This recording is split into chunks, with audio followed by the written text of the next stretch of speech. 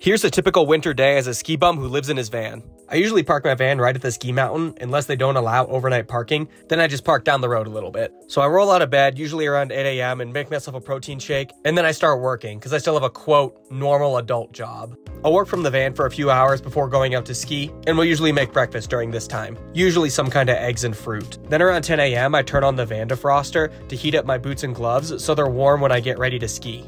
I make a bag lunch, put on my ski gear, then grab my skis and either walk or catch a ride to the chairlift. Then it's ski time, baby. I usually ski for around five hours, and I just eat my squished PB&J when I'm on the chairlift. When I'm done skiing, I head back to my nice warm van, chill out for a bit, and then make a snack. Then sadly, I usually have to go back to work for a little bit. When I'm done working, I leave the lodge and go back to the van to make dinner. And today I just had some leftover Costa Rican gallo pinto that I heated up.